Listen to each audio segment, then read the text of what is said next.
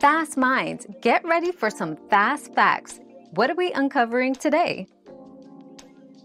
You cannot safely rule out appendicitis at home. Symptoms like abdominal pain, fever, nausea, and vomiting can mimic other conditions. If you suspect appendicitis, it is crucial to seek immediate medical attention to prevent complications like rupture. Medical professionals will conduct examinations and possibly imaging tests to diagnose accurately.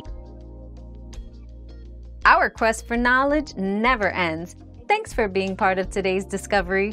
Subscribe, like, and share to join us on the next one.